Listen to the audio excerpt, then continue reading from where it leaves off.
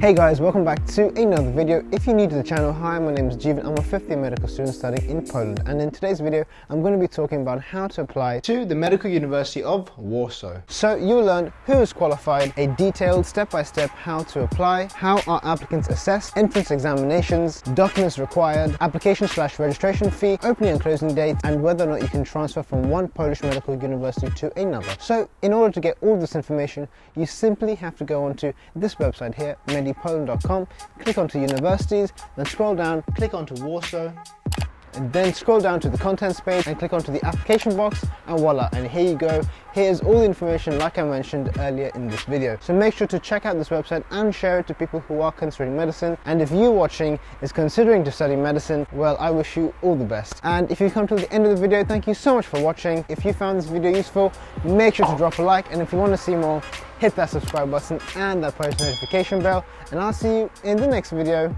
Peace